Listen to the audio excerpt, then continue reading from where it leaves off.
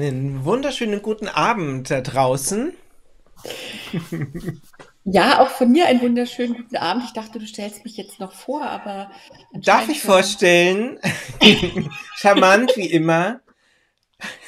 Frau Kirsten Buchholzer ist mit von der Partie. Ja, und ich sehe schon, da draußen werden inzwischen Freundschaften schon geschlossen. Ähm, sehr romantisch das Ganze. Ähm, Ja. Christopher, ich, ähm, du musst jetzt mal ein bisschen uns hier durchführen. Ich bin immer noch schockiert von dem Hintergrund Hm. Ja, du weißt ja, ich habe ähm, also so Kirsten spricht von Romantik und hinter uns baumelt einer am Galgen. Ähm, ja, ich ähm, habe natürlich passend zu unserem Thema, ich habe natürlich äh, pa passend zu unserem Thema und Kirstens neuer Haarfarbe einen, ähm, einen, ein Bild ausgewählt, das ähm, ähm, ja, den Gehängten symbolisieren soll. Und zwar so, wie man vielleicht, wenn man jetzt nicht Tarot-affin ist und vielleicht nur oberflächlich äh, den äh, Tarot kennt, wenn man das Wort der Gehängte hört, ich glaube, sehr viele werden eine Assoziation wie diese haben. Oder Kirsten, was meinst du? ja, also gerade wenn man mit den Stadtspürern unterwegs ist, könnte man da die ein oder andere ähm, Assoziation haben. Wir in Hamburg erzählen zum Beispiel immer eine sehr schöne Galgengeschichte und erwähnen, dass unser Stadtteil Hohe Luft äh, durchaus was mit ähm, diesem Thema zu tun hat. Hohe Luft, äh, erklär es kurz, liebe Kirsten. Ja, also man sieht das ja sehr schön auf dem Bild hinter uns, Ah ja. dass Mhm. die Galgen ziemlich hoch waren früher und äh, dass dann diese Menschen, die dort aufgehängt wurden, ziemlich hohe Luft geatmet haben, weil dort, äh, wo dieser Stadtteil jetzt ist, war mal einer unserer Galgenplätze. Mhm. Ich finde übrigens, Kerstin muss ich jetzt ganz kurz noch erwähnen, die sich extra für uns von ABBA gelöst hat. Ich Oh. vermute mal, Kirsten, du weißt gar nicht, was jetzt gerade los ist, während wir hier. Doch, ich habe das gesehen, dass irgendwie auf dem Waterloo-Bahnhof, aber war, ist es ein Revival oder ist es Ja, ich habe es eine... leider nicht angeschaut. Ich werde das später in der Aufzeichnung sehen. Ähm, aber heute um 18.45 Uhr ähm, ganz geheimnisvoll. Wir wissen es nicht genau. Alle anderen wissen mehr wie ich und es ist wahrscheinlich auch ein Grund, warum Pascal heute nicht dabei ist, dabei ist weil er natürlich als ABBA-Fan hier eher das andere dem Vorzug gibt. Wir haben echt Konkurrenz gerade. Also die haben sich wieder vertragen, ja? Das ist ja schon mal gut. Wir wissen es nicht. Ähm, wir sind natürlich auch beim Thema der Gehängte eher bei düsteren Ja, Themen angelangt. Lass uns nicht über ABBA reden. Ja. Ich wollte nur, ich wollte nur anmerken, Kerstin, das ist wirklich ähm, ein großes, ein großes Opfer, das du gerade bringst. Also, das muss man schon sagen.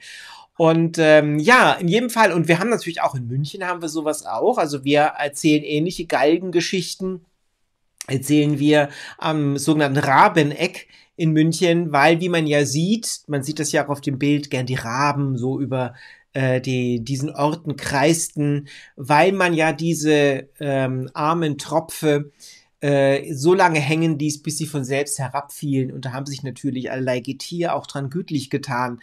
Und deswegen ist das eher so ein schauriges Bild. Und ich habe das ganz bewusst genommen, weil das natürlich nichts mit unserem Gehängten zu tun hat, Kirsten, wenn wir vom Tarot-Gehängten sprechen, oder? Ist das so? Also ich, be- ich behaupte das mit dem Inbru mit, in, mit, mit Inbrunst der Überzeugung. Aber du kannst Also ja. sagen wir so, wenn wir über den Gehängten reden im Tarot, da sind die meisten Menschen nicht wahnsinnig glücklich, äh, Mhm. mit dieser Karte zu arbeiten. Es gibt einige sehr entspannte Menschen, die das ganz locker sehen, aber die allermeisten Menschen, die sind nicht so erpicht darauf, den Gehängten in einer Legung zu haben. Da werden wir aber drauf kommen, wenn wir dann zu den einzelnen Tarotkarten Mhm. gehen, würde ich vorschlagen. Du hast doch sicher nochmal eine Einordnung der Symbolik äh, auf tiefer, schichtiger Ebene für uns, bevor wir das machen. Ganz selbstverständlich. Und ich denke mal, wahrscheinlich ist diese eher negative Bedeutung dieser Karte ähm, auch diesen Assoziationen mit zu verdanken. Ne? Galgenhö äh, Galgenhügel, äh, Galgenstätten, Hinrichtungsstätten und so weiter. Aber schauen wir mal weiter. Es gibt ähm, natürlich auch ähm, ähm Überlegungen, dass der Gehängte äh, mit ganz anderen Dingen zu tun hat. Und äh, man kommt ziemlich schnell, wenn man sich mit Mythologie beschäftigt, auf ähm, den Gott Odin oder zu südgermanische Wotan, der laut der Edda ähm, an, ein, an der Weltenesche Yggdrasil hing, neun Nächte lang. Ach, sag ähm, mal wirklich Yggdrasil, nicht Yggdrasil. ich kann, also es ist Yggdrasil, wenn du es ganz genau haben möchtest, liebe Kirsten. Aber der herkömmliche Leser nennt es Yggdrasil. Mhm. Aber weißt du, was Yggdrasil bedeutet, Kirsten? Nein. Das ist doch wieder etwas, was ich dir gerne verraten möchte. Es handelt, äh, Yggdrasil heißt das schreckliche Pferd. Mhm. Und da haben wir wieder ein Thema, das mit den Galgen zusammenhängt. Denn man hat einen Galgen früher auch manchmal ähm, euphemistisch das hölzerne Pferd genannt. Also da gibt es schon so seltsame Zusammenhänge. Ja, also er reitet das hölzerne Pferd. Das ist ähm, eine eine Umschreibung für aufgehängt werden. Interessant, dass die Weltenesche Yggdrasil, die wahrscheinlich gar keine Weltenesche ist, weil sie ja immer grün ist, man vermutet, dass es sich eher um eine Eibe handelt, ähm, der Weltenbaum, an dem eben auch Odin sich aufhing, und zwar sich selbst in einer Art Selbstopfer. Ähm, wir sehen ihn hier ähm, nicht wie der Gehängte dann später im Tarot kopfüber, aber das gibt es auch in Darstellungen, dass er auch mal kopfüber aufgehängt wird. Ich weiß nur nicht, weil das oft moderne Darstellungen sind, ob die sich vom Tarot sogar haben inspirieren lassen. Denn in der Edda geht das nicht, aus der Edda geht das nicht hervor. Also in mhm. der Edda heißt es einfach nur, ich opferte mich selbst ähm, für mich selbst, also ich opferte mich mir selbst. Und ähm, wir sehen eben auch hier so einen Speer, eine Verletzung, die dabei zugefügt wird. Das Ergebnis interessanterweise ist, dass Odin in, äh, durch diese Art Selbstopfer die Runen entdeckte. Ihm wurden die Runen, das Geheimnis der Runen verraten. Und ähm, insofern ist es schon eine bedeutsame Szene. Aber. Ja, also sie ja. wird gerne auch im Tarot verwendet. Es gibt aber auch noch andere Gehängte, die gerne verwendet werden. Zum Beispiel, äh, ich weiß nicht, ich weiß nicht, ob ich jetzt was vorwegnehme. Gib du erstmal weiter, ich sage es dann. Ja, vielleicht nimmst du es vorweg, vielleicht auch nicht. Aber es wird hier angespielt auf das Thema Selbstopfer.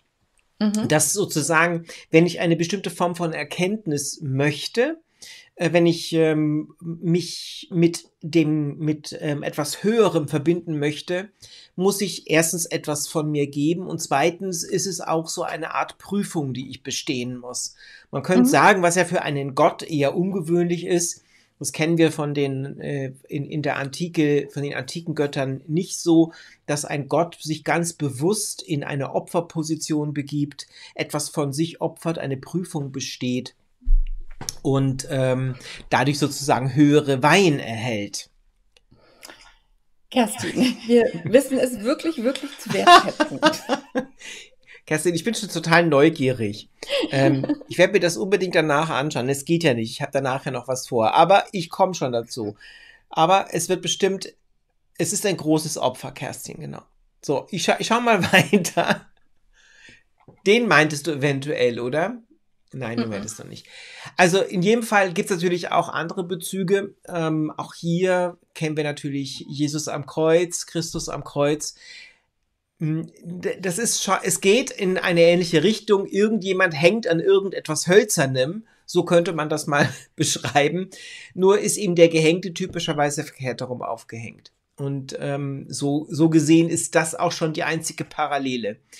Aber man könnte sagen, ähm, es ist durchaus zulässig, ich weiß nicht, wie du das siehst, finde ich, wenn man auch hier so eine Art Parallele für sich zu Erkenntniszwecken heranzieht. Also nicht, dass ich jetzt behaupten würde, der Gehängte im Tarot hätte irgendwas mit Christus zu tun. Aber weil sich uns der Vergleich irgendwie symbolisch aufdrängt, gibt es ja vielleicht ein paar Elemente daraus, aus diesem Gedanken, die uns wiederum helfen können, den Gehängten besser zu verstehen.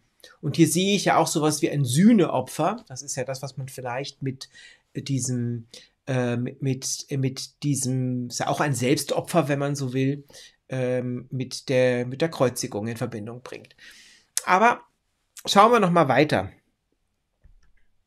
Ich habe natürlich mir gleich gedacht, Jesus hing ja richtig herum am Kreuz. Es gab aber einen, der auch verkehrt herum hing. Und wir sehen hier die Kreuzigung des heiligen Petrus in Rom, der ja, als man ihn eben zum Tode verurteilte, auch am Kreuze zu sterben, darum bat, verkehrt herum aufgehängt zu werden, ähm, weil er sich nicht als würdig empfand, auf die gleiche Weise zu sterben wie sein, ähm, wie sein Herr. Und dieses umgedrehte Kreuz im Übrigen fand, fand, ich jetzt, ist mir so vorhin gekommen, dass ja auch oft das Petruskreuz genannt wird, ist natürlich in anderen Zusammenhängen auch eher auch ein düsteres äh, Symbol, nämlich das des Satanismus. Ob da eine Parallele besteht, weiß ich nicht. ja. Wir haben noch das Andreaskreuz. Ja. Fällt mir das ein, aber das ist natürlich nicht so angelegt wie das beim Gehängten, das stimmt. Ähm, wobei der Gehängte ja gar nicht an einem Kreuz hängt. Genau. Ähm, und andere Assoziationen, die man noch haben kann, die auch in manchen Tarots auftauchen, ist äh, Luzifer als mhm. gefallener Engel, der dann quasi in der Hölle hängt. Da gibt es äh, Bilder davon. Und es gibt auch äh, ähm, Varianten, die auf Prometheus verweisen mhm. der ja auch an einen Felsen gekettet hängt, auch nicht mit dem Kopf nach unten, aber diese Thematik des, des Gehängten auch, auch äh, äh, Osiris wird gerne mal benutzt mhm. dafür. Also immer das Thema, was mit Opferprüfung zu tun hat in irgendeiner Weise, das wird gerne in dieser Karte verbraten. Ja, und ich glaube, dass das sicherlich auch ein Thema ist, von dem wir sagen können, dass es ein zentrales Motiv in der, in der Deutung äh, des Gehängten ist. Ne? Da geht es oft um Prüfung und Opferung. Aber vielleicht gibt es auch noch eine ganz andere Variante. Und deswegen habe ich hier am Schluss dies hier mitgebracht der neueste Schrei, ich weiß gar nicht, wie neu dieser Schrei ist, ich bin da ja immer ein bisschen hinterher, das sogenannte Air-Yoga. Man hängt einfach verkehrt herum. Yoga immer verkehrt herum machen, soll besonders gut sein. Wir sehen hier eben einen modernen Gehängten. Ich genau. fand das aber irgendwie passend. Irgendwie ging ja, bei Yoga ging es ja ursprünglich auch um Erkenntnis und nicht um Sport. aber ja, also es, es gibt auch einige, die das sehr stark mit Yoga in Verbindung setzen, die Karte. Mhm. Ähm, ja, wie gesagt, ich, ich, ich denke, wir reden darüber, wenn wir genau. ähm, zu den Karten kommen. Aber ich habe dieses Bild noch nicht gesehen. Ich, in, bei mir in der Yoga-Session wird das nicht angeboten. ich glaube, das ist ähm, ehrlich gesagt auch etwas sehr Spezielles. Es gab, gibt ja immer wieder Yoga-Trends. Ich weiß gar nicht, ob das überhaupt noch gültig ist. Könnt ihr eh da draußen mal sagen, ihr seid, da sind bestimmt ein paar Yoga-Begeisterte draußen. Ist das etwas, was ihr schon mal gemacht habt? Und hm. ich würde sagen, mehr Assoziationen, liebe Kirsten, gab der Gehängte mir nicht her, muss ich ganz offen gestehen. Ähm, da hatten wir bei der Kraft und bei den anderen doch oft mehr Symbole. Ähm, ich lese hier gerade mit der Prüfung, sagt Dini Living, mit der Prüfung denke ich auch immer dran, hab immer den seidenen Faden im Kopf. Man muss was tun. Ja, wie so einem seidenen Faden hängen mir fällt jetzt spontan Damoklesschwert auch ein. Das hängt ja auch irgendwo, aber das ist wahrscheinlich jetzt zu weit hergeholt. Mir fällt da eher eine Spinne ein. Ja, genau. Ich habe auch gesehen, es gibt ein Tarot. Ähm, ich weiß gar nicht, welches das ist. Äh, da wird tatsächlich der Gehängte als eine an einem Faden hängende Spinne dargestellt. Also das ist gar nicht so abwegig, glaube ich. Ja. Aber wir, wir gehen jetzt schon mal direkt in Medias Res in die Tarotkarten selbst und ähm, habe hier auf deinen Wunsch ältere Formen des Tarot ausgewählt, damit wir mal sehen, wo das überhaupt herkommt. Ja, ganz genau. Also was ihr jetzt seht, ist das äh, Visconti Tarot, äh, Visconti Sforza Tarot, was ja mit zu den ältesten Decks äh, gehört, die wir kennen, stammt aus der Mitte des 15. Jahrhunderts. Und daneben ist ein Tarot aus der aus der ähnlichen äh, Zeitspanne, allerdings weiß ich nicht genau, welches Deck es ist, muss ich zu meiner Schande gestehen. Ich habe es halt rausgesucht, weil ich die Darstellung da originell drauf finde. Und äh, der Gehängte, heute sagen wir auch gerne der Hängende zu dieser Karte, mhm. ähm, der wird hier dargestellt als ein Verräter und er hat auch den Titel Verräter ziemlich am Anfang gehabt. Und äh, es war eine Hinrichtungsart in Italien, Verräter, die auch durchaus adelig sein konnten, mit dem Kopf nach unten aufzuhängen und äh, ja, dadurch äh, ihre Schande zu zeigen. Und offensichtlich würde ich sagen, ist diese Bestrafung auch für Menschen äh, dargestellt, die entweder was gestohlen haben oder, was man jetzt natürlich bei Verräter auch mit diesen Geldbeuteln assoziieren kann, wäre Judas, der ja auch äh, für Geld seinen Herren verrät und dann sich selbst aufhängt.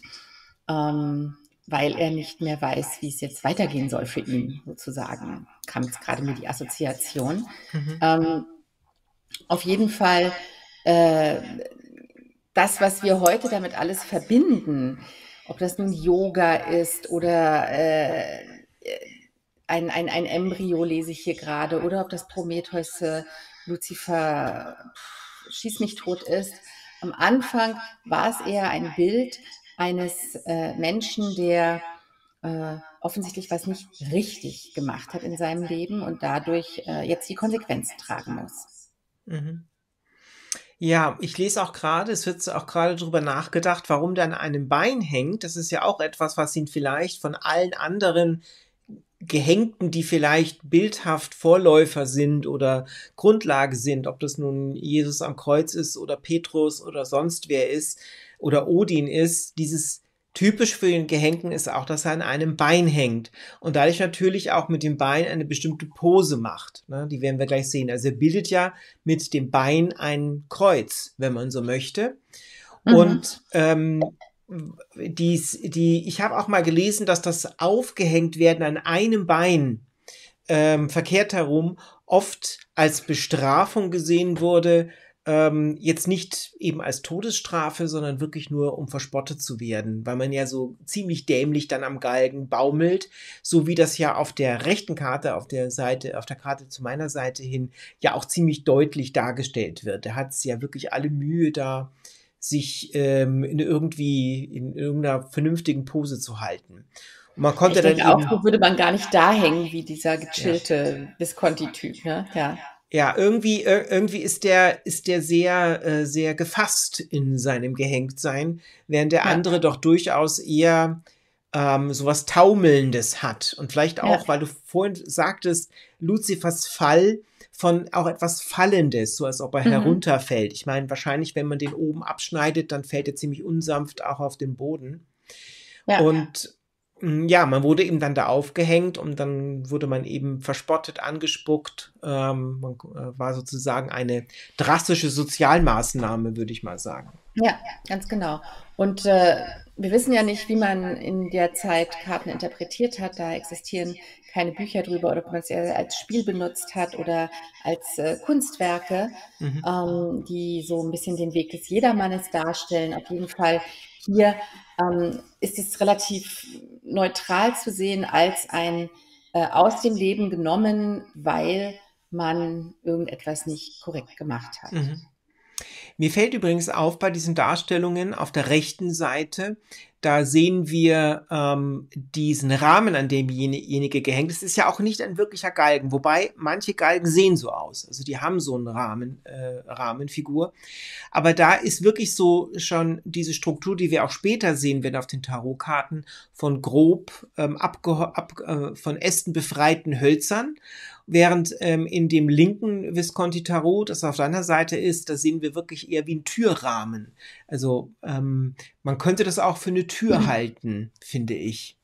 ja, und da können wir natürlich sagen, dass das äh, auch wieder gleich ähm, symbolisch umgedeutet werden kann, denn der Gehängte stellt ja quasi die Tür äh, ins Sterben, mhm. in den Tod dar. Die nächste mhm. Karte ist der Tod und dann in die sogenannte Nachtfahrt. Mhm. Interessant. Also das heißt, das Visconti-Tarot, diese, diese linke Variante ist wahrscheinlich auch eine ältere, nehme ich mal an. Mhm. Ja, also das ist auch die, die mir vertraut ist als Visconti, während die rechte scheint mir etwas, etwas moderner zu sein. Ja. Ähm, da hängt auch übrigens so eine, eine rote Feder oder sowas dran. Also das ist, für mich ist das noch ein bisschen akrobatischer.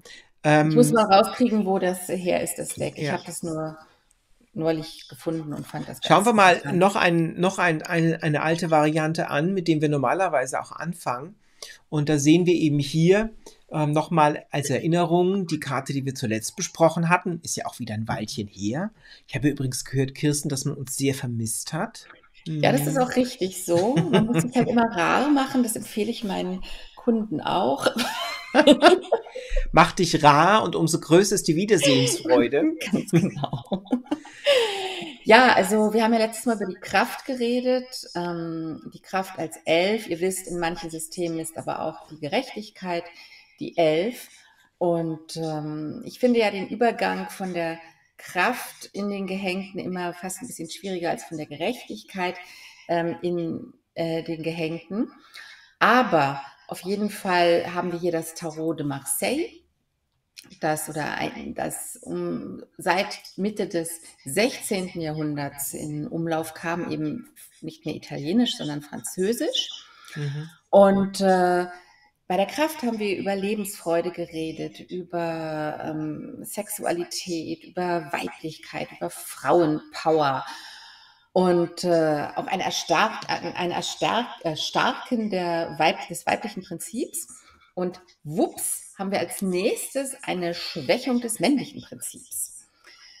Ähm, denn wir haben jetzt einen Mann, einen hilflosen Mann dargestellt, Vorher hatten wir eher immer so sehr starke, dynamische Menschen. Ich glaube, das ist schon auch von Bedeutung, denn ähm, im Tarot wird sehr stark mit dem Gedanken männlich, weiblich gespielt. Und ich glaube, da beginnt auch so eine Form der, der, der Umkehr. Also, dass man mehr in, die Seele äh, gehen soll. Die Seele erstarkt in der Kraft. Die Seele wird ja gerne als, als weiblich dargestellt. Und äh, das äußerliche, männliche, das nach ins Leben drängende schwächelt an dieser Stelle. Wobei man ja nicht sicher sein kann, es ist ja nun mal erstmal vordergründig eine geschwächte Situation, in der sich derjenige befindet. Aber wie wir schon festgestellt haben, in dieser geschwächten Position wirkt er relativ gefasst. Ja, also ich finde, ja, ja. dass das durchaus ein, von einer großen Körperbeherrschung zeugt. Also um so da hängen zu können und das über einen längeren Zeitraum, muss ich eine ziemlich gute Körperbeherrschung haben. Ich lese hier auch gerade, ähm, Amelia schreibt, ähm, der auf einem Bein hängende macht, macht der Gehängte der, das Baumasana. Und äh, das stimmt, aber wir werden das gleich nochmal deutlicher sehen, äh, weil, ja, das zeige ich, das zeigen wir gleich. Ich wollte noch. Genau. Mhm. Ähm, ich ich würde gerne noch was sagen zu dem ja. Tarot de Marseille. Ähm, also zum einen sehen wir, dass sich der Galgen verändert hat jetzt. Mhm. Er ist, äh, besteht aus ähm, zwei Stämmen, die jeweils sechs abgeschnittene ähm, ähm, Äste haben. Und wir sehen auch, dass der Gehängte in die Wurzeln hineingesetzt wird. Mhm. Ich habe gerade gesagt, der Gehängte hat viel mit Sterben zu tun. Ja, weil die nächste Karte ist der Tod. Es ist die Karte des Sterbens von etwas. Äh, mhm. Irgendetwas stirbt in unserem Leben, wenn wir den Gehängten ziehen. Und das ist umso schwieriger, weil wir vorher aus dem Vollen geschöpft haben. Ja, also viele Menschen erleben ja, ich spreche jetzt mal von mir, in ihren End-30ern so bis äh, mit 40ern einen kompletten Kraftrun, ja, wo sie nochmal alles so rauslassen und dann fängt auf einmal äh, an, sich der Körper bemerkbar zu machen und äh, man denkt öfter über das Alter nach und über den Tod, als man das früher getan hat. Und das sehe ich so ein bisschen als die Verbindung zwischen Kraft und Gehängter und was einmal ganz kraftvoll erledigt werden konnte, mhm. äh, gelingt einem nicht mehr so. Da, da, haben wir schon mal eine Bedeutung für den Gehängten. Und auf der anderen Seite sehen wir hier eine sehr spirituelle Andeutung schon. Mhm. Wir haben nämlich eigentlich hier jemanden, der in seinem eigenen Horoskop hängt, mhm. äh, umgeben von den zwölf Tierkreiszeichen, die durch die abgeschnittenen Äste symbolisiert wird. Und er hängt quasi an seinem MC und wird in sein IC hineingesetzt. Hineingetunkt. Hineingetunkt.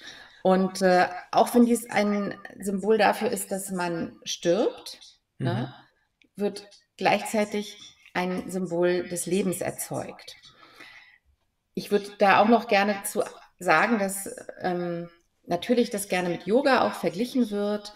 Ähm, da gibt es Figuren, wo wir es vielleicht noch deutlicher sehen. Aber was ich fast besser finde als Yoga persönlich ist, dass ein Geburtsprozess dargestellt wird im mhm. Gehängten. Nämlich, wenn wir äh, unsere Kinder normal bekommen würden, wir, also in der besten für Frauen vorgesehenen Stellung, nämlich in der Hockstellung, ja, dann würde ein Kind so aus dem Körper hinauskommen mhm. und dann quasi noch an der Nabelschnur hängen. Mhm.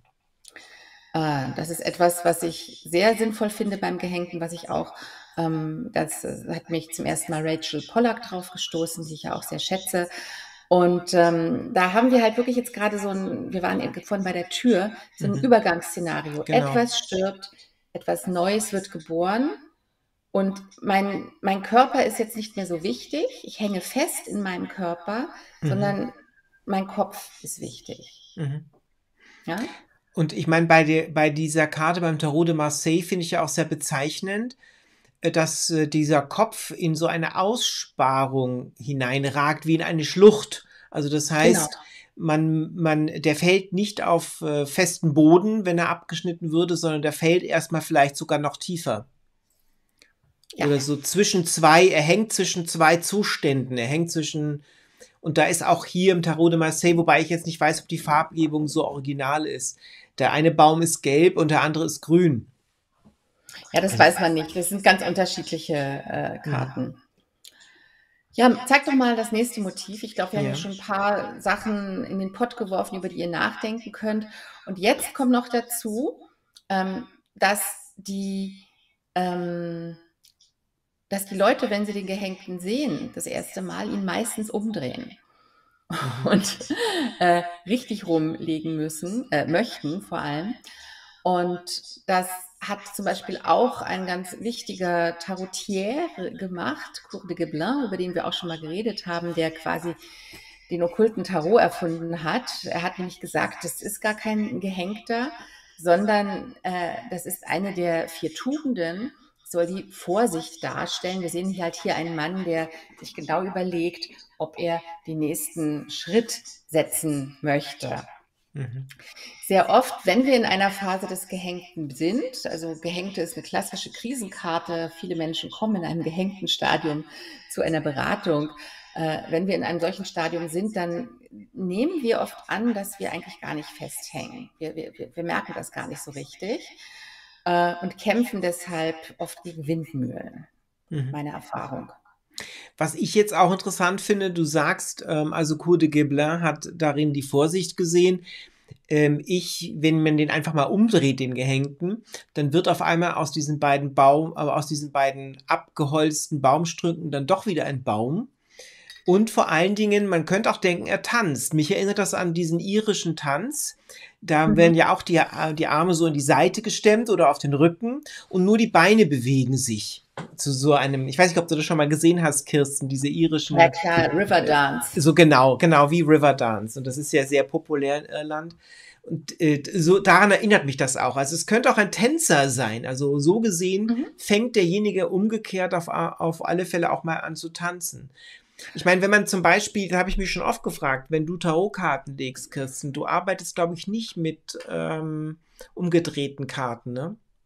Nur unter bestimmten.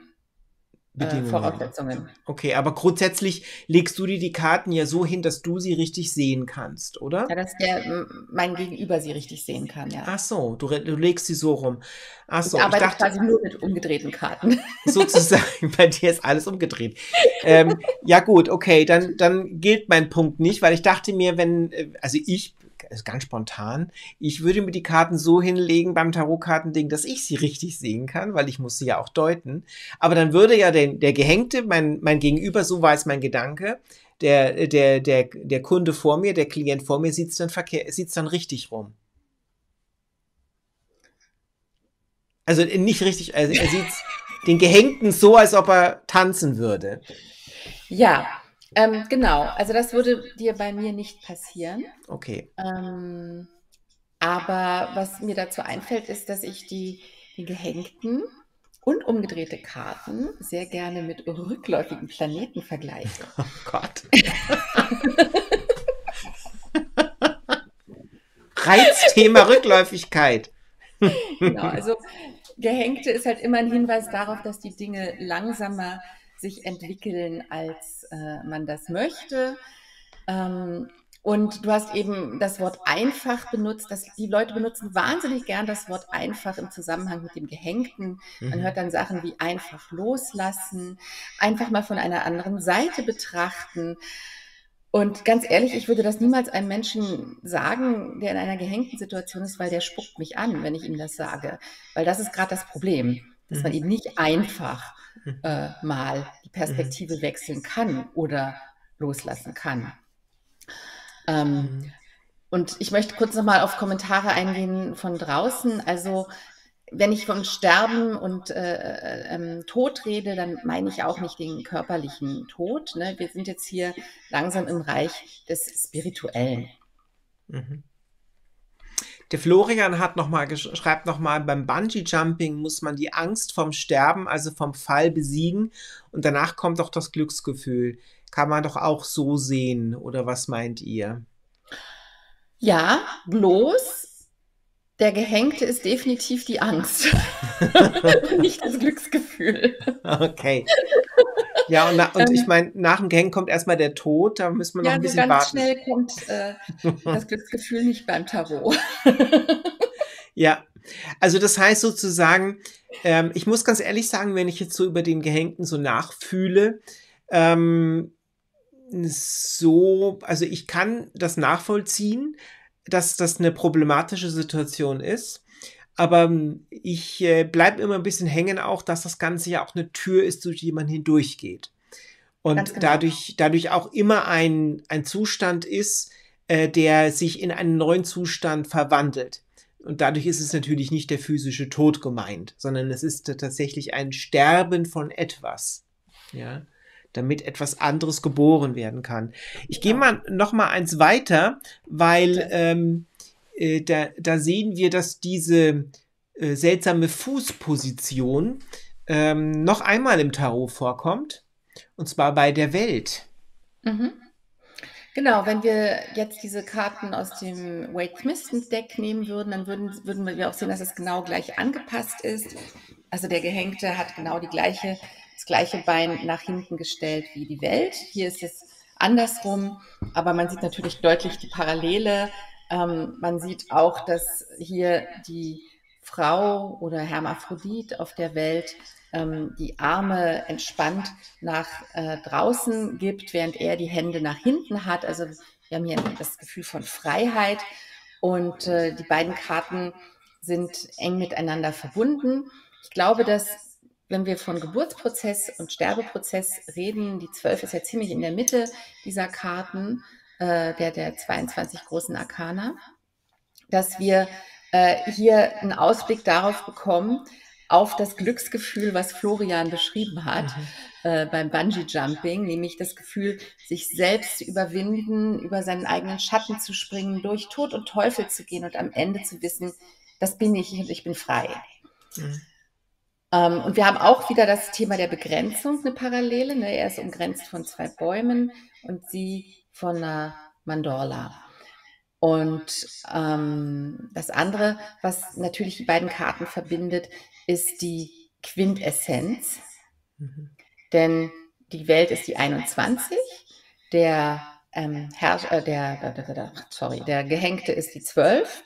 Beides ergibt drei in der Quersumme. Und somit sind die Karten auch noch mit der Herrscherin verbunden, über die wir ja schon geredet haben. Mhm. Und die Herrscherin ist die Frau, die Kinder gebiert. Mhm. Ne? Also wir haben hier so in diesen drei Karten sehr schön das Thema Gebären, Sterben mhm. und vielleicht auch Auferstehung. Mhm. Ich meine, man könnte ja auch die Mandorla, könnte man ja auch als Vulva sehen und äh, diese Figur, die da in dieser in, dieser, in diesem Mustertanz könnte ja auch gerade geboren werden. Könnte ja praktisch ja. ins Leben, hinein, in Leben hineintanzen. Ja, also da haben wir diese, dieses Tänzerische sowieso. Ähm, und ähm, weil du es vorhin sagtest, die Zahl ist ja 21 und 12, das ist ja auch gespiegelt. Ne? Wenn ich die Eins und die Zwei vertausche, bekomme ich sozusagen die, die beiden. Es ist interessant. Ich weiß nicht, ob man für das Tarot de Marseille sagen kann, dass hier schon eine, ähm, dass das hier schon bewusst gesetzt wurde. Beim Wade Smith Tarot ist es natürlich ganz klar bewusst die Parallele gesetzt. Aber es ist doch erstaunlich, dass in diesen beiden Karten die Fußposition ähnlich ist. Und ähm, und auch gespiegelt wieder, ne? Also zumindest mal hier im Tarot de Marseille. Also ich habe schon den Eindruck, wenn ich mir die großen Arkana aus dem Marseille-Deck angucke, dass da viele astrologische ähm, Themen angedeutet sind. Da haben wir zum Beispiel auch über den Tierkreis bei dem Rat des Schicksals geredet. Ja. Und ähm, das taucht immer wieder auf. Mhm. Und weil gerade erwähnt wurde, die Rune Isa, die man darin sehen könnte, ich würde eine andere Rune sehen, wenn ich die mal kurz zeigen darf. Ähm, ich würde nämlich die Rune Nauthis sehen. Und schaut mal, die Nauthis macht eigentlich so eine ähnliche äh, Bewegung, Fuß, äh, Fuß, äh, Beinkreuzung. also das gerade Bein durchkreuzt in einem schräg angewinkelten Bein. Ja? Mhm. Nauthis heißt die Not. Das ist im Grunde genommen eigentlich, finde ich, die Rune, die diesem äh, hängenden Thema am ehesten entspricht. Mhm. Ja, Gabriele hat noch geschrieben, äh, kann es sein, dass einer Gefühl und einer Verstand ist? Ähm, wir müssen immer bedenken, dass diese Bilder in ganz unterschiedlichen Farben abgedruckt wurden. Aber äh, wie auch Herzensmensch schreibt, wenn dich das anspricht, wenn dich das inspiriert, dann ist das so. Ne? Mhm. Ähm, bei dem Gehängten jetzt hier hängt ja sein, ich muss das mal gerade überlegen, auch meine Rechts-Links-Schwäche, wenn er jetzt richtig rumhängen würde, dann würde er am äh, linken Bein festhängen und sein rechtes Bein ist frei. Ähm, und in anderen Decks ist eher sein rechtes Bein gehemmt und sein linkes Bein frei. Also hier scheint ja eher der, das Intuitive festzuhängen und das äh, ähm, Verstandesmäßige ist frei, oder? Mhm. Naja, gut, wie nachdem, ob man diese Ringslechts. Äh, Ringslechts. Ringslechts, ja. kennst, du das, kennst du das Gedicht von Ernst Jandl? Kennst du das?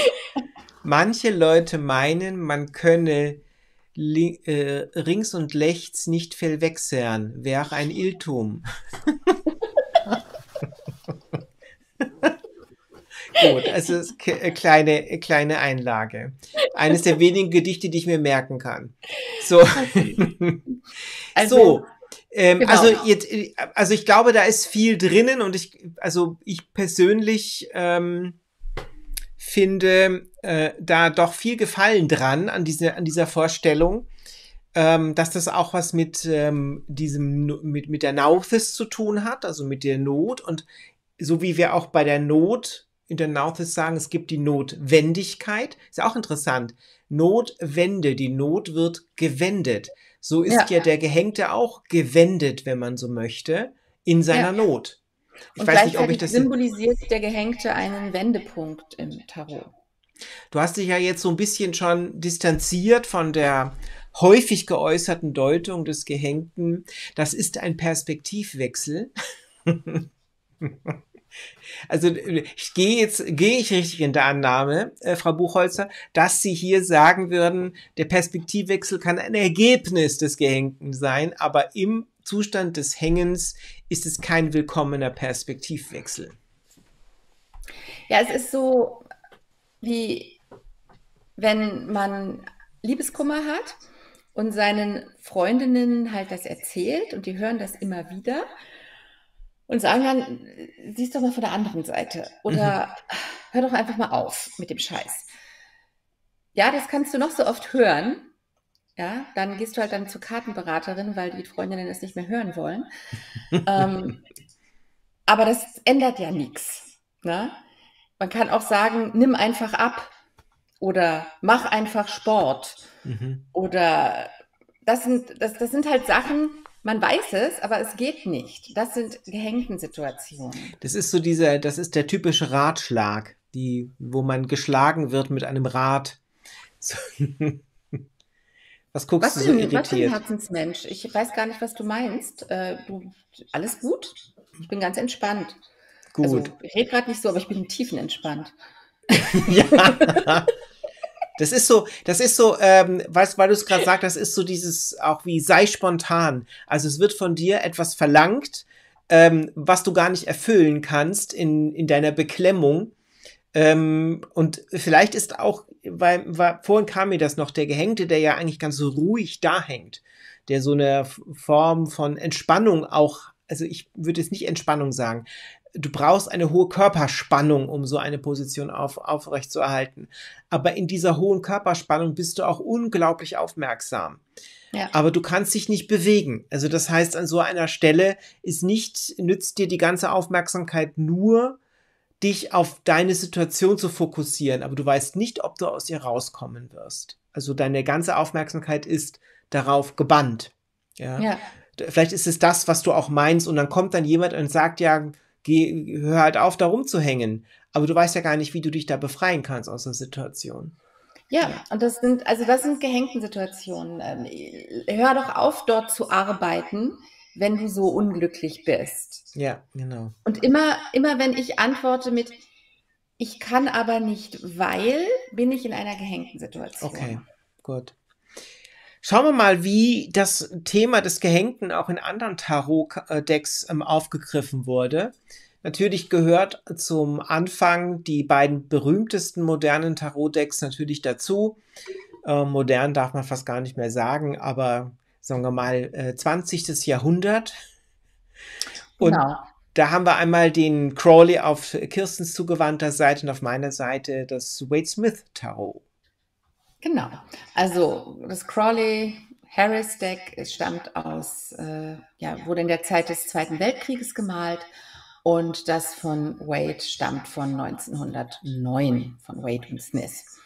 Und äh, Kerstin hat ja vorhin schon mal aufs Ankh angespielt. Ne? Also wir sehen bei, bei Crawley und äh, Harris eine sehr klare ähm, Anspielung auf ägyptische Mythologie. Mhm. Es soll auch Osiris sein der hier festhängt. Das, das war ist eine dieser Assoziationen, die ich anfangs äh, erwähnt habe. Ja, und der ist jetzt hier gar nicht so locker und entspannt, ne?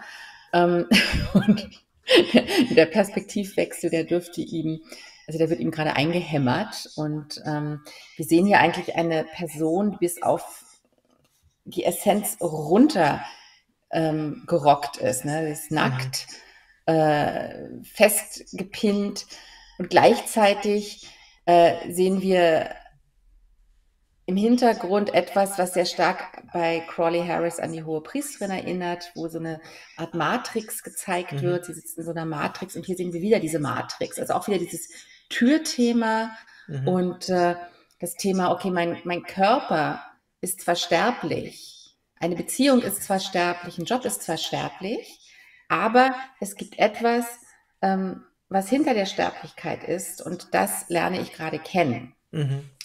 Okay. Und das ist sicher eine ganz wichtige Aussage. Wir sind nicht umsonst in gehängten Situationen. Wir kommen nicht umsonst aus einer Beziehung nicht raus oder können mhm. einen Job nicht loslassen. Das soll uns was beibringen über was uns mhm. oft in unserer Entwicklung helfen kann. Es, es geht es darum, wir sagen ja oft, ich hänge fest oder ähm, es ist vorhin wurde das Bild von einer hängenden Schallplatte benutzt. Also ich, ich, ich wiederhole das immer Gleiche sozusagen, bis ich es kapiert habe. Ewig ähm, grüßt das Murmeltier. Genau. Und ich meine hier zum Beispiel auch nur, weil symbolisch mir gerade ins Auge springt, da kommen jetzt die, die Kreuzigungssymbolik kommt bei Crawley wieder rein mit den ja. Nägeln in den Füßen. Und wir haben ja auch zwei Schlangen. Wir haben also eine Schlange, die sich um den ähm, aufrechten Fuß äh, windet beim Ankkreuz. Und wir sehen eben eine Schlange unterhalb des Hauptes, die aber zusammengerollt ist. Und ich, ähm, äh, ich glaube, Herzensmensch erwähnt Tantra. Natürlich geht es hier auch um die Kundalini und so weiter. Wenn man bedenkt, dass Crowley natürlich Sexualmagie ganz groß geschrieben hat und ganz besonders wichtig fand, finden wir natürlich immer wieder sexualmagische Anspielungen, gerade in den Crowley-Karten. Nein? Dass dir dieses Wort über die Lippen geht. du, ich habe ich hab, ich hab Stunden vorher geübt, Kirsten, damit das ganz locker flockig kommt. Ja, so als ob ich über nichts anderes den ganzen Tag reden würde.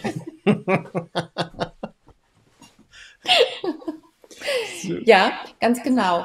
Und ähm, die auch bei, bei Wade ne, ist das jetzt ein bisschen anders geworden. Ihr seht, dass der Galgen oder was immer es ist, anders aussieht. Wir haben jetzt hier eigentlich ein T-Kreuz. Mhm. Ähm, und er hat eben genau das andere Bein äh, frei.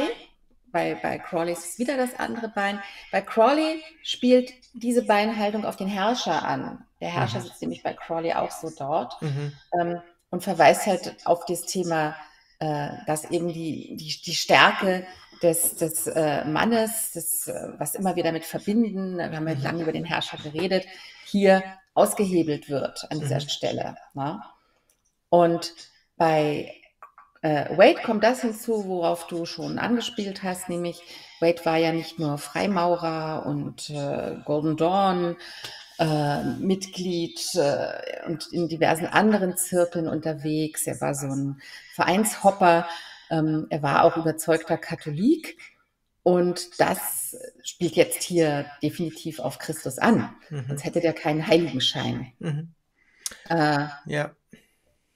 Und die, äh, ähm, so ich lese gerade wegen Lilith. Ähm, mhm. Genau, Lilith ist sicher auch ein Thema. Hatten wir ja bei der Kraft, bei Crawley und Kerstin. Ich glaube, der Christopher hat gerade was über Lilith gemacht. Ne? Mhm. Ich habe gerade einen Vortrag, letzte Woche habe ich den gemacht über, nee, letzte Woche, äh, diesen Montag, Entschuldigung, letzten Montag über Lilith, ja. Mhm. Ist der auch abrufbar? Ja, den kann man erwerben, den habe ich, ähm, ah. der gehört zu meinen äh, werbaren Vorträgen auf Phoenix Astrologie. Alles klar. Gut. Ähm, ja, bei, bei, also hier haben wir eine klare Anspielung auf das Thema Erleuchtung, wie immer wir das jetzt nehmen. Und ähm, wenn wir nochmal zurück zum Yoga gehen, ich bin keine Yogistin, ihr dürft mich gerne korrigieren, aber ich habe gelernt, dass wenn man sich eben, wie wir es bei dieser Yoga-Figur auch gesehen haben, auf den, äh, auf dem Kopf hängt, sozusagen, dass dann äh, das Blut auch in den Kopf schießt und dass man äh, klarere Erkenntnisse haben kann dadurch, mhm. dass man mit dem Kopf überhängt. Also das wäre dann das Thema des Perspektivwechsels, über das wir ja schon mehrfach jetzt geredet haben. Äh, und was ich total schön finde bei dieser Karte, ich hatte die mal im, äh, ich unterrichte das ja und ich habe mal über diese Karte gesprochen bei einer Gruppe, die sehr schützig geprägt war. Also es waren fast nur Schützen dort. Und der eine äh, Schütze war wirklich ein super tiefenentspannter und er sah diese Karte und meinte, naja, wenn ich im Stadium des Gehängten bin, dann muss ich mich einfach nur reinhängen. Und äh, dann löst sich das. Und das ist, glaube ich, genau das, was wir lernen müssen. Es geht nicht darum, einen Perspektivwechsel zu machen. Es geht nicht mhm. darum, was loszulassen, einfach mal, sondern mhm. sich in diese Situation wirklich vollkommen hineinzubegeben. Wir haben auch über Opfer geredet. Mhm. Und dann, wie beim Contract Release, sich aufrollen zu können. Mhm. Das ist ja vielleicht dann doch das, was dann auch eben Odin ähm, erfuhr. Neun Nächte lang hing ich am Weltenbaum und dann wird mir die Erkenntnis der Runen geschenkt. Also das ja. heißt, es auch auszuhalten, ist, glaube ich, ein ganz wichtiger Punkt. Die Spannung auszuhalten, die da ja. gerade ist und nicht gleich sofort von ihr wegzulaufen und sie auch nicht schön zu reden. Also ich glaube so, das Reden von Perspektivwechsel und siehst doch mal anders und so weiter, du musst, ne, das, das sind Versuche auch, eine Situation, die unangenehm ist, schön zu reden. Und wir sind in der Gesellschaft oder ich erlebe das immer wieder, dass man versucht, ähm, Glück zu definieren ähm, als ewiges Fernbleiben von Situationen, die mir unangenehm sind. Ja, und ich glaube aber, dass wir erstens Glück nicht so definieren können, sondern ich glaube, dass Glück auch der Zustand des Release ist, aber den kann ich nur erfahren, wenn ich vorher alles zusammenziehe. Und ich denke, dass da eine ganz wichtige Botschaft des Gehängten auch darin steckt, ähm, dass wir eben nicht immer glücklich sein können oder dass vielleicht auch in manchen unglücklichen Situationen die Chance besteht, zur Weiterentwicklung durch eine neue Tür zu gehen. Also ja. für, für mich ist das so eine, eine Karte, die ich habe ja am Anfang im Vorgespräch habe ich dir gesagt, Kirst, so mit dem Gehängten, den mag ich nicht. Aber jetzt, wo wir so drüber sprechen, stelle ich fest, ähm, dass es doch so in meiner zu meiner Lebensphilosophie doch ganz gut passt. Ja, wobei du hast äh, eben gesagt, dass man halt nicht äh, weglaufen soll. Man kann nicht weglaufen aus einer gehängten mhm. Situation. Mhm. Wenn wir können ja, vor gesagt, dem Tod weglaufen, ja. es geht nicht. Also das, das zu akzeptieren, ne? weil ich glaube, das ist so ein bisschen der Punkt, ähm, den wir auch immer wieder erfahren. Ne? ne? Wenn wir in einer verdrießlichen Situation sind und dann kommen andauernd die Leute und sagen, ach komm, sieh das doch mal anders. Du musst dich einfach nur lösen. Und du merkst so innerlich, du kannst gar nicht. Das ist jetzt nicht dran. Aber wir kommen uns dann auch teilweise doof vor. So nach dem Motto, ja, eigentlich müsste ich ja nur loslassen. Aber ich kann nicht loslassen. Das ist es ja. nicht, was mich gerade, was ich brauche. Und dann zu akzeptieren, dass es manchmal Dinge gibt, ähm, in die wir einfach hineingehängt sind. Da hängen wir drin und es dauert so lange, wie es dauert. Und manchmal können wir auch nichts tun. Wir sind ja in so einer Machergesellschaft und ich finde, die Karte ist der totale Kontrapunkt dazu. Ja. Niemand ist seines Glückes Schmied, sondern ja. es ist eher so, Glück hat auch was mit Glück zu tun und Glück haben zu tun. Und daher ist es einfach manchmal so, wir müssen die Dinge auch manchmal aushalten. Ja. Mit den Bettpfosten finde ich sehr lustig. ähm, ja, also ich kenne das, das ist ein gutes Beispiel. Oder sich den Ellbogen stoßen und einfach nur erstarrt sein und äh, dann darauf hoffen, dass es wieder ähm, besser wird. Das ist, ähm, mhm. finde ich, ein gutes Beispiel. Ich finde ein Aber, schönes Wort, was die Gabriele gerade reingibt, ist aufgeben. Das finde ich eine total, also, also das gefällt mir sehr gut. Das Wort ist ein schönes Wort. Gib einfach ja, mal ein, auf. Ein ja. anderes ist Hingabe. Das mhm. wird gerne auch beim mhm. äh, Gehängten genutzt. Und eines der, der, der, magischen oder okkulten Traditionen des Gehängten ist halt auch ähm, etwas zu opfern oder jemanden zu opfern, im Sinne jetzt sich abschlachten, sondern aufgeben, damit man äh, das bekommt, was besser passt. Mhm.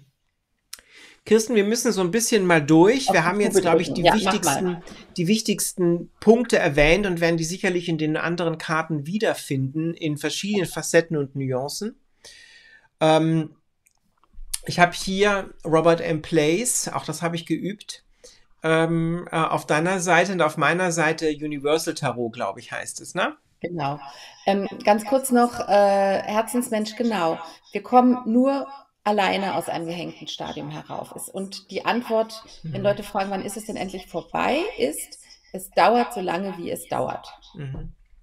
Okay. Und hier sehen wir bei dem Robert M. Place, sehr schön hast du das gesagt, Christopher, ähm, ein, ein, wieder eine alchemische Verbindung, die ich jetzt, die müsstest du mir sagen, aber ich würde sagen, es ist wieder eine Anspielung auf Judas eigentlich hier. Mhm. Ähm, nee, ich glaube, es ist gar nicht aus dem Alchemischen, sondern es ist ja aus dem äh, Raziel-Tarot, ja, also das, ja. äh, deswegen da diese Anspielung, die wieder verweist auf das, was wir ganz am Anfang gesehen haben und das andere, äh, dieses äh, Le Pendu ähm, aus dem Universal Tarot, ähm, also hier der hängende, ne, ähm, abhängig kommt auch, hängt auch mhm. mit dem mhm. Gehängten zusammen. Ne, mit, also eben Co-Abhängigkeit kann auch durch diese Karte gezeigt werden. Äh, sehen wir Wasser und das äh, verweist uns auf die, die astrologische Korrespondenz, die inzwischen benutzt wird, nämlich Neptun wird damit in Verbindung gebracht. Ja, neptunisch, also ich, ich verbinde damit immer ähm, so als, als Fischin kann ich das ganz gut nachempfinden, dieses gehängten Gefühl. Ich fühle mich äußerst unwohl im Körper. Ich äh, jetzt nicht, wie er aussieht, sondern ich fühle mich einfach nicht wohl im Körper, im Materiellen. Ich möchte eigentlich lieber da oben sein. Und das ist wahrscheinlich die, neptunische Qualität des Gehängten. Ja, man kann natürlich auch sagen, ähm, ich finde bei diesem Universal Tarot, was mir als erstes auffiel, der ist so frühlingshaft. Also das mhm. ist fast sehr positiv. Ne? Da, mhm. da sprießt es und, äh, und fließt es. Während nun äh, bei Robert M. Place so eine düstere, da haben wir eher diesen, diesen verzweifelt am, äh, am, an einem Galgen aufgehängten und rumbaumelnden Die Schlange, die wir ja schon bei Crowley hatten, verweist auf Verwandlung hin, meines Erachtens. Die Schlange ist ja so ein universelles Symbol der Verwandlung. Und ähm, die Verwandlung ist offensichtlich eher unangenehm in diesem Fall. Also wir, wir werden verwandelt und dieses Fallen der Münzen sehe ich möglicherweise auch in dem Zusammenhang, was du gerade gesagt hast. Die Münzen stehen ja für Materie, fürs Körperliche, das Körperliche loslassen. Ja. Ja, aber welcher Geburtsprozess ist angenehm? Ja, weder für Frau noch Kind ist es toll zu gebären. Äh, wenn wir die Transformation in einen Werwolf haben, ist es auch äußerst unangenehm, der Moment der Verwandlung. Mhm. Aber wenn man dann Werwolf ist, dann ist man stark und kraftvoll. und das ist sozusagen, das, das ist wie den kleinen Zeh sich anhauen am Bettpfosten, wenn der Schmerz vorbei ist ist man immer noch der gleiche schön. wie vorher bei der Verwandlung. Genau.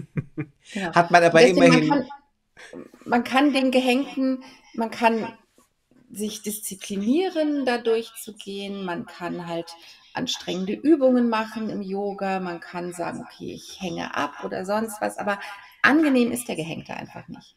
Ja, okay.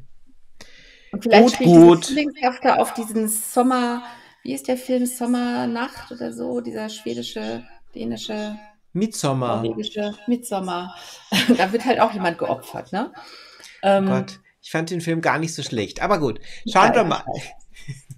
ja, Schauen wir weiter. Also zwei weitere Motive, das aus dem, das, da seht ihr hinter mir das ähm, äh, Soul Within Tarot von Stephen Bright. Ich finde diese Darstellung einfach sehr schön, weil hier nochmal so das Thema Distanz auch eine Rolle spielt. Mhm. Und es hat so was von, ich bin nicht wichtig mehr, sondern alles um mich her, alles, wenn ich festhänge, dann kann ich viel stärker wahrnehmen, was um mich herum passiert, als wenn ich immer mit mir und meiner Bewegung äh, zu tun habe. Ne? Ich bin einfach jetzt immobil und kann nur noch wahrnehmen. Und das andere ist die Röhrig-Karte. Da sehen wir nochmal sehr deutlich die Anspielung auf Neptun und das Neptunische. Ähm, ja, müssen wir jetzt auch nicht tiefer ähm, einsteigen. Es ist halt nochmal eine zusätzliche Anspielung. Allerdings ist ja hier eine Rune drauf, Christopher. Und da musst du natürlich jetzt noch was zu sagen. Ja, das ist, ist natürlich eine rätselhafte Rune. Es ist die Rune Tiwas und damit die Rune des Gottes Tyr. Allerdings ähm, hat der ja nun seine rechte Hand geopfert, um den Fenriswolf zu bändigen. Und vielleicht geht es in diese Richtung, was Röhrig denkt, dass man eben hier eine Art Opfer bringen muss, eine Art Prüfung bestehen muss. Was genau. mir beim, beim Soul Within Tarot noch gut gefällt, oder Spirit Within heißt es, ne? Spirit Within, ja, sorry. Ja. Ähm, das hat eine Ähnlichkeit mit dem Anfangsbild, also so diesen, den, den Galgenmenschen. Und es hat auch ein bisschen was Düsteres. Also hier kommt eine düstere Komponente. Der Baum ist so, eine, so ein Baumgerippe mehr.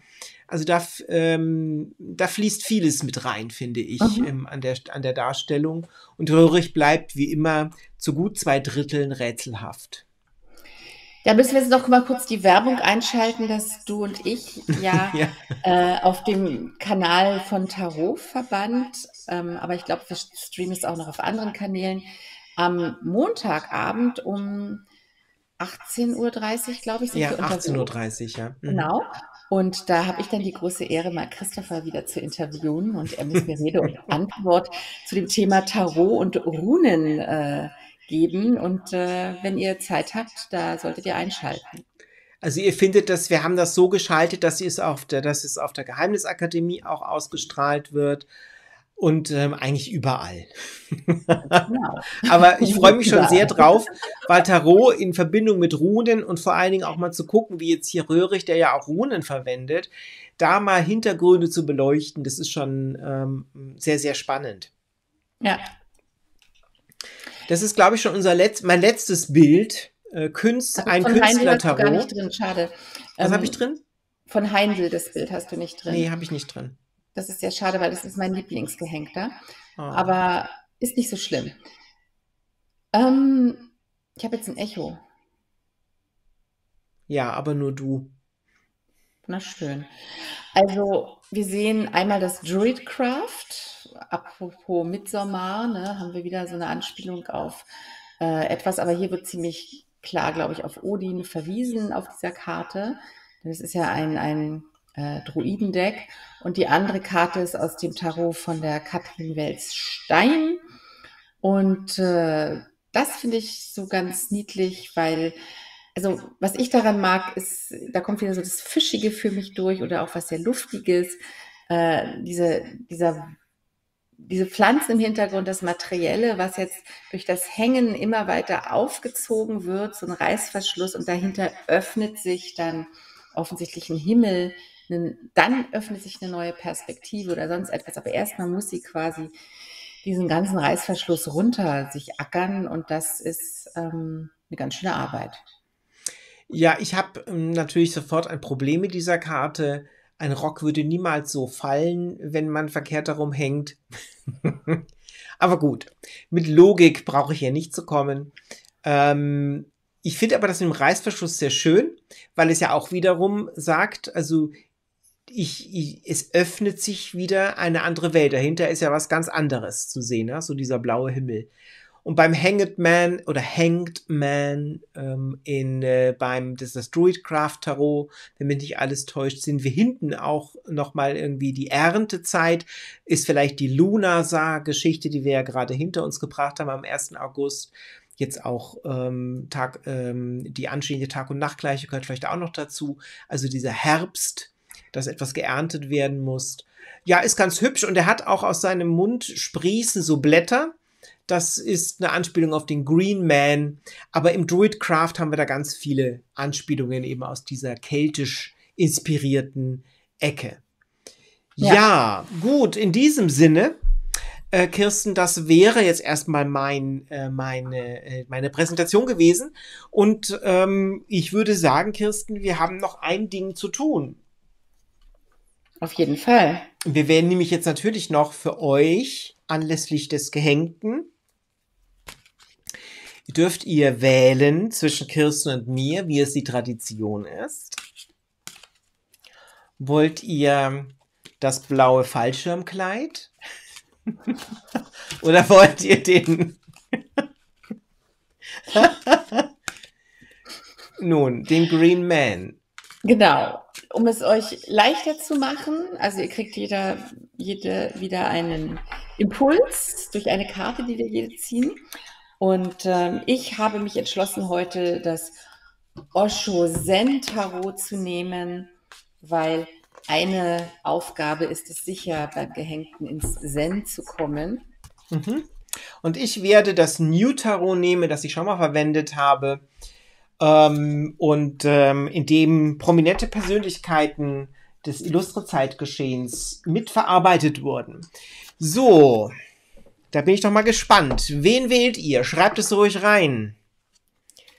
Wählt ihr Kirsten oder wählt ihr Christopher? Ihr könnt auch heimlich beide wählen, aber das ist nicht. Ähm, eigentlich solltet ihr wirklich die Polarität auskosten. Die Polarität solltet ihr auskosten. Und ich werde, ich glaube, bei diesem Deck ins äh, Buch kurz gucken müssen, weil das ist ja so ein. Äh, ich mache das nee, auch. Ich, glaub, ich habe hier mein New Tarot Buch auch parat liegen und mal zu gucken, was die wissen, Künstler welche, meinen. welche Karte es ist sozusagen. Genau, also erstmal ziehen wir sie. Hast du sie schon gezogen? Ich habe meine gezogen. Okay, ich genau. mache das jetzt ja auch nochmal so. Also ich habe, ich sag das gleich mal hier, äh, das sind traditionell die sechs der Schwerter. Mhm. Man sieht okay. es sehr schlecht wegen der Greenscreen. Ich mache mal mein Licht hier aus. Man sieht es oh. äh, Die Karte heißt Last. Mhm. Und was ich ganz schön finde, ist, man sieht ein Kind darauf dem eine Frau den Weg weist. Die Sechs der Schwerter, die diese Karte ja darstellt, ist normalerweise eine Karte, wo es halt auch um Orientierung geht. Wo, wo soll ich jetzt hin? Es geht auch darum, äh, von eigenen Gefühlen äh, in Distanz zu gehen und äh, vielleicht eine andere Perspektive einzunehmen. Das passt schon mhm. ganz gut zu dem Gehängten. Und was ich sehr schön finde, ist, dass hier so ein kleines Kind quasi eine einen Berg hochgeschickt wird. Das verbinde ich jetzt damit, dass wir alle als Kinder sozusagen schon einen Auftrag haben, äh, irgendwie, der auch durchaus beschwerlich sein kann, denn das Leben ist ja, wie Christopher ausgeführt hat, nicht immer angenehm. Ähm, und äh, ich würde sagen, dass alle, die diese Karte heute sich ausgesucht haben, ähm, na, es ist gar kein Kind, es ist ein, ein, ein ermüdeter Mensch, der jetzt noch weiter einen, auf, äh, einen, einen Berg hochklettern muss, passt also so, sehr gut zum Gehängten. Äh, dass alle Menschen, die diesen, diese ähm, Karte gezogen haben, denen sei gesagt, dass ihr die Kraft habt, euren Weg weiterzugehen, auch wenn ihr gerade so eine Durst, Durststrecke habt. Ihr kommt aber ans Ziel, wenn ihr jetzt nicht aufgebt. Gut, und ich habe tatsächlich, ähm, sehr schön, ich hätte das auch gezogen, Kirsten, aber ich habe hier eine gezogen und zwar, ich habe David Bowie gezogen. Ich glaube, den hatte ich sogar schon mal. Den hattest du schon mal. Ähm, ich habe es echt gut gemischt. Äh, David Bowie, die Liebenden, als die Liebenden oder als Engel der Liebenden. Und ähm, in diesem Buch heißt es, äh, die Mittagssonne steht für einen Höhepunkt. Ja? Licht und Glück. Zwischen den Wolken erscheint Erzengel Raphael, der Schutzengel der Liebenden, hier vertreten durch David Bowie. Er segnet Adam und Eva aus dem gleichnamigen Gemälde von Albrecht Dürer im Zustand vor dem Sündenfall. Die Schlange und vor allem die Äpfel sind immer noch am Baum der Erkenntnis. Nackt und noch unschuldig tummeln sich die beiden zwischen Paradiesbäumen. Ja, das erinnert mich jetzt an den Gehängten, so die Bäume links und rechts. Ähm, dabei bildet ihre gegenseitige Anziehung die Urpolarität ab. Die zwölf Flammen am Baum hinter Adam stehen für die Leidenschaft, die beim Setzen des richtigen Fokus eine große Ablenkung für den Menschen darstellt. Im Hintergrund ragt das Matterhorn empor, das Ausbrechen der Erde angesichts zwei sich gegenüberstehender nackter Menschen, das durchaus fallisch gelesen werden kann. Mhm. Die Liebenden stehen für die Anziehungskraft der Gegensätze, für den Herzensweg und für liebevolle Entscheidungen. Ja, also wir haben zwei Sechsen. Hier schreibt Herzensmensch ja auch was von der Entscheidung. Ähm, offensichtlich geht es darum, äh, sich zu committen gerade, ob ihr nun die eine oder andere Karte gezogen habt. Ja. Na? Ne? Ja. Da würde ich doch mal sagen, ähm, liebe Kirsten, in diesem Sinne, ich habe ja jetzt gleich noch ein Rendezvous mit mir selbst und allen, die sich für, die sich für Astrologie interessieren, denn um 21 Uhr werde ich äh, live gehen im Sternenturm und werde dort das Neumond-Horoskop besprechen. Wer also Lust und Gelegenheit hat und sich dafür interessiert, der kann einfach um 21 Uhr in der Geheimnisakademie bleiben. Aber du, Kirsten, hast ja sicherlich auch bald wieder etwas vor. Ja, ich bin jetzt wieder am Sonntag online mit dem Wochentaroskop, diesmal um 18 Uhr. Und danach werde ich ein Lagerfeuer mit meinem Gatten machen. Da wird der Name meines Gatten erläutert. Er hat sich bereit erklärt, dies zu tun, das Geheimnis zu lüften. Also schaltet unbedingt dann ein, wenn euch das interessiert. Äh, ansonsten, äh, Montag sind wir beide wieder unterwegs und nächsten Donnerstag treffen wir uns auch schon wieder, weil wir jetzt gerade uns nicht sonntags treffen können. Mhm. Da, wir haben gerade so ein bisschen Terminprobleme deswegen. Also wir werden sehen, wie es dann weitergeht, aber nächsten Donnerstag ist auf jeden Fall schon mal gesichert. Da reden wir über den wunderschönen Tod. Genau. Herzensmensch, wir hängen dich auch wieder ab. Du weißt aber, das kannst nur du selbst tun. Ähm, so, das ist ja die Lektion, die ich zumindest jetzt mal gelernt habe. Ja, freue ich mich schon drauf. Also kann man das sagen, ich freue mich schon auf den Tod, aber es ist tatsächlich so. Ähm, ich freue mich schon auf unseren nächsten Tarotgarten und da wird das Thema die 13. Karte sein. Und äh, das ist nun mal der Tod. Und wir werden natürlich das Geheimnis des Todes lüften, liebe Kirsten. Das werden wir tun. Und ähm, ja, dann würde ich mal sagen, ähm, gehabt euch alle wohl, lasst es euch gut gehen und äh, wir sehen uns auf die eine oder andere Art und Weise wieder. Ich freue mich schon. Thank you.